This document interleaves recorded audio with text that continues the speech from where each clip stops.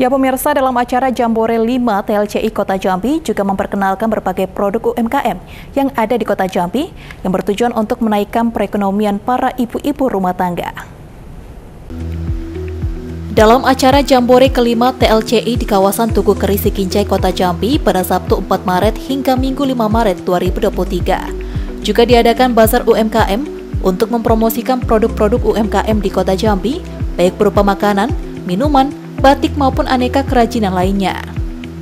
Bazar ini pun juga diikuti oleh Iwapi Kota Jambi. Sofia, Ketua Iwapi Kota Jambi mengatakan bahwa kegiatan ini berguna untuk memperkenalkan usaha mereka sehingga dapat menaikkan perekonomian ibu-ibu rumah tangga yang tergabung di dalam organisasi ini.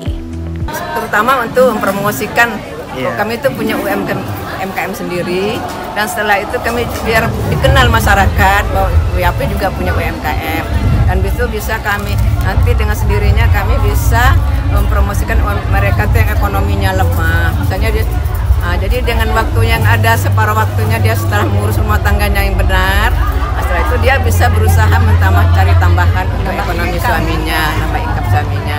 Jadi dengan sendirinya itu tuh ya ekonominya mapan dengan sendirinya gitu.